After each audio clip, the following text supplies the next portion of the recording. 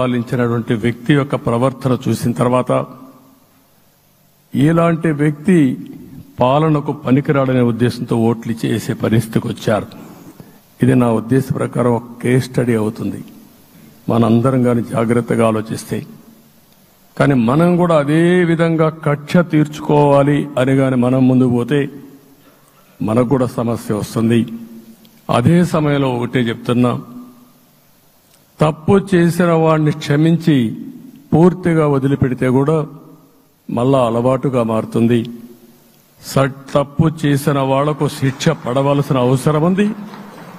చట్టపరంగా శిక్షించాల్సిన అవసరం ఉంది.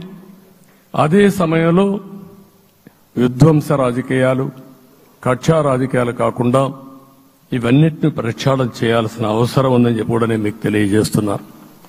ఇంకొక పక్క ఐదేళ్ళలో ఎన్నో సంవత్సరాలు చూశాను కానీ కార్యకర్తల పైన దాడులు హింసా రాజకీయాలు అక్రమ కేసులు వేధింపులు కడాన సోషల్ యాక్టివిస్టులు కూడా ఇష్టానుసారంగా కేసులు పెట్టి హెరాస్ చేస్తే నిద్రపోకుండా వాళ్ళు కాపాడుకున్నాం. ఇంకొక పక్కన అన్ని పార్టీలకు మూడు పార్టీలకు అనుభవం ఉంది. ఈరోజు మీరు చూస్తే ప్రాణాలు తీస్తూ అరాచకంగా ప్రవర్తిస్తూ తెలుగుదేశం పార్టీలో ఒక ఉదాహరణ చూసినప్పుడు అన్ని పార్టీలకు వర్తిస్తుంది.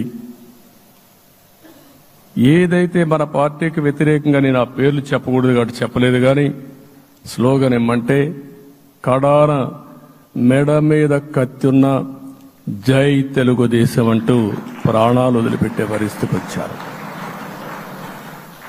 ఇది ఊహించని పరిణామాలు ఇవన్నీ.